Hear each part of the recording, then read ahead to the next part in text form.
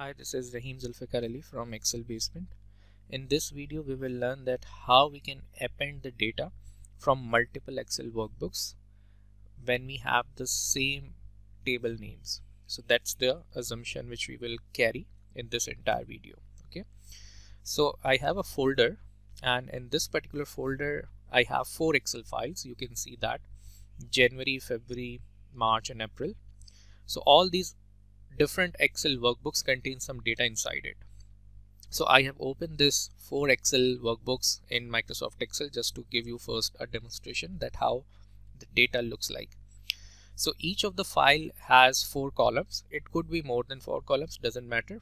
Uh, so in this particular file of January, we have four columns and this particular data has been converted into a table format. And once you convert the normal data into a table format, it's converted into structural references where you can uh, edit this table properties as well. And every uh, structured data, uh, you can say that every table has has its certain name. So in the table design ribbon, you can see uh, the table name which is defined as a data. Okay, and if I go to, for example, in the April workbook, we have uh, the data here for the month of April. And this is also converted into a table format and the name is same for that this table as well. This is called data. So I have four Excel workbooks and each of the workbook contains a data which is in a table format and the name of every table is same. Okay so this is the assumption which we will carry and append the data all together from different Excel workbooks into the Power BI okay so I hope you understood the data okay? That each of the excel workbook has a table format data and, and the name of the table is same. Power BI now I will click on get data and I will not click on excel workbook. We know that we need to bring the data from excel workbooks but there are more than one excel workbooks. So we need to basically select the common data source which is the folder. Okay? So we will click on more here and it will open up a new window. In okay from here we will select the folder and click on connect and paste the folder path or you can just click on browse button and locate that folder. Click on ok. Okay so now it's showing you a, a kind of a metadata a summarized information that what that particular uh, folder contains. So there are four excel files uh, jan feb march april. These are excel files when they were created, when they were modified, and some of the information. Uh, what we are required to do is we need to combine and load the data. Okay, if you want to do certain changes before you need to load the data, you can go with the first option that is combine and transform data, which lets you to the Power Query editor. But we are sure that uh, all the Excel workbooks contain similar kind of columns and we just want to grab all the data from different workbooks all together uh, and we want to combine them. Uh, be, remember that based on a condition which we discussed earlier that all these Excel workbooks contains data that are converted into a table format and the name of the table in every Excel workbook is same okay?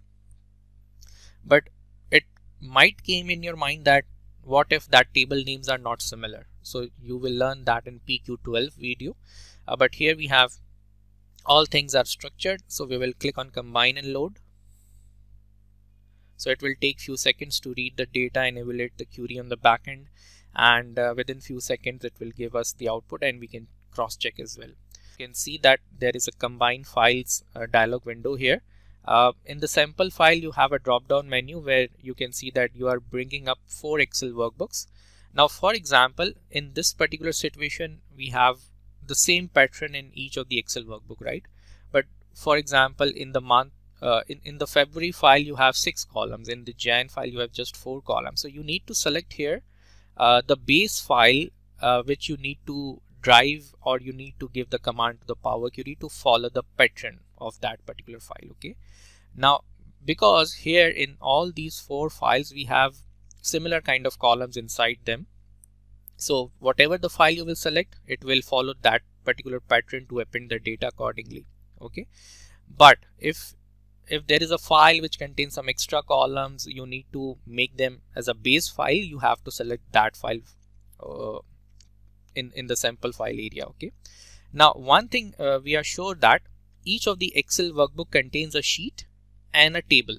And what we are trying to do is we need to basically fetch all the data from different excel workbooks and that table name is similar so you can see that data is being written here and this is a small icon of a table so whatever file you select here, because the pattern is same in all the Excel workbooks, you just need to click on data because we need to bring all the data from a table, not from the sheets. Okay.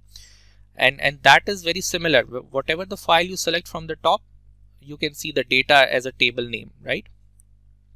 So we need to click on data and click OK. And it will run on a backend.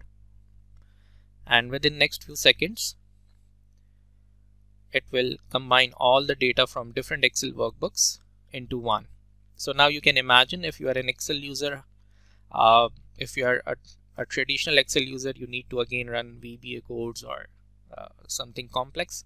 Uh, but if you are modern Excel user, you can use Power Query in Excel or you can use uh, Power BI. Within that, we have the Power Query tool available, which appends the data from different Excel workbooks together uh, within few seconds.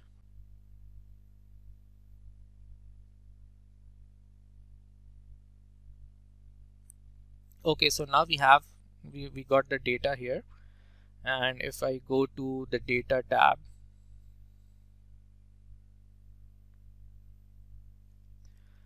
so we can see the preview of the data from here.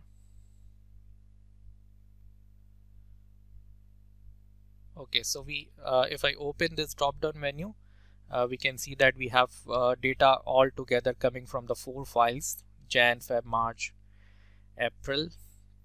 You can see the month name here right?